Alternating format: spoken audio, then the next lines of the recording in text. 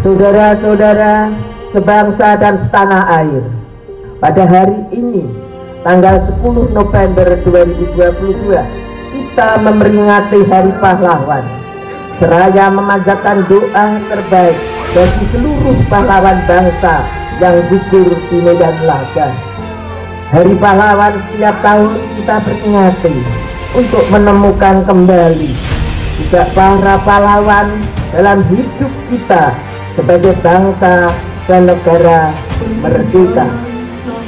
Dengan hanya berbekal dan beruncing para pahlawan dengan semangat bergerak serampak menghadang musuh yang merupakan pemenang perang dunia dengan persenjataan terbaiknya merdeka atau mati. Para pejuang sepenuh percaya bahwa masa depan kita sangat layak untuk diperjuangkan.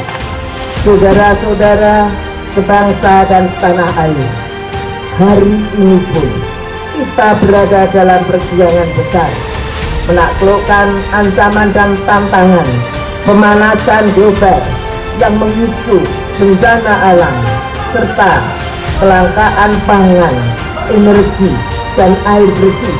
Kiranya perlu kita persiapkan dengan sungguh-sungguh. Marilah kita bergerak bersama dan maju bersama dengan tekad untuk menang.